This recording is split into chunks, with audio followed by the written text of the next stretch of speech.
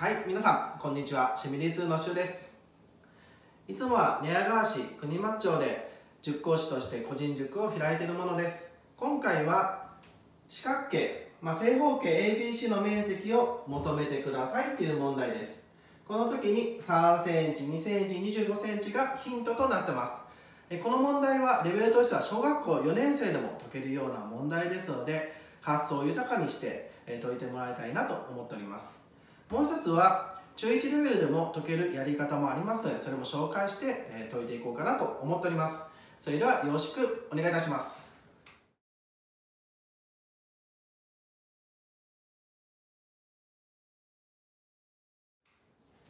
え初めなんですけど、まあ、25センチというところでこの25センチが他にもイコールなるところがあります。どこだっていうとここの25センチと同じところがここなんですね。BC と DC は同じ長さ。CF CF ですね。で FY と同じ長さがこういうふうになるんですね。そしたらこれが合わせて25センチですね。でその次なんですけどここで式を作っていきます。頭の中で。どういうことかというと3センチ25センチから3センチ引いて2を足すという形なので25センチから3センチ引いて2センチ足す。25引く3は2222足す2は24ということなので24センチということが分かります。そしたら24センチということが分かったのでこれがここの長さになるんですね。ここの長さになります。ってことはここの長さが24センチだと。だから3つの辺っていうのは、まあ、3辺っていうのは長さが等しいということから割る3すれば CF の長さが分かります。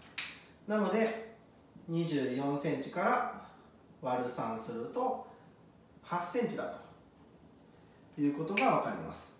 だからここが8センチということが分かれば、まあ、ここも8センチですね。8たす3は11センチということからここの一辺の長さが11センチということが分かりました。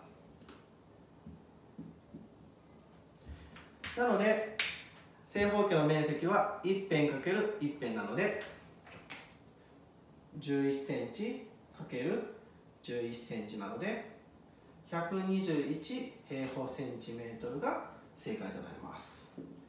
なので答えはここは121平方センチメートルが正解です。はい。あともう一つのやり方をちょっとやっていこうかなと思います。もう一つは25センチ。ここの一辺でイコールの式を作りたいなと思います。そしたら BC の長さを例えば X って長さします。その次なんですけど BC の長さと CF の長さを比べた時にこっち3センチ短いということが分かるから X から3センチ引いたもの。ということが分かります。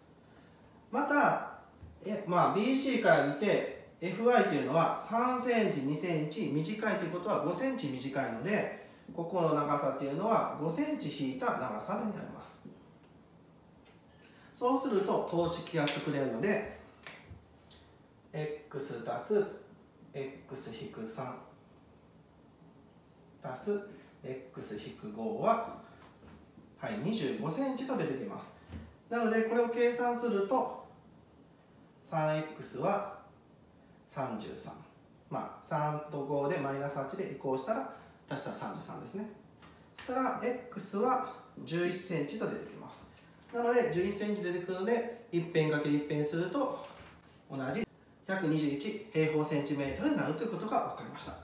はい、えー、今回の問題なんですけど小学校4年生でも解けますし中学校1年生でも解いてほしいような問題でした、えー、今回の問題が面白いと思いました。らぜひともグッドボタンとチャンネル登録ぜひともよろしくお願いいたします。それでは次の授業であ次回は特別会でちょっとポケモンのネタでちょっとやっていこうかなと思います。僕が結構昔ポケモン好きだったんでそういったネタでやっていきます。それではまた。バイバイ。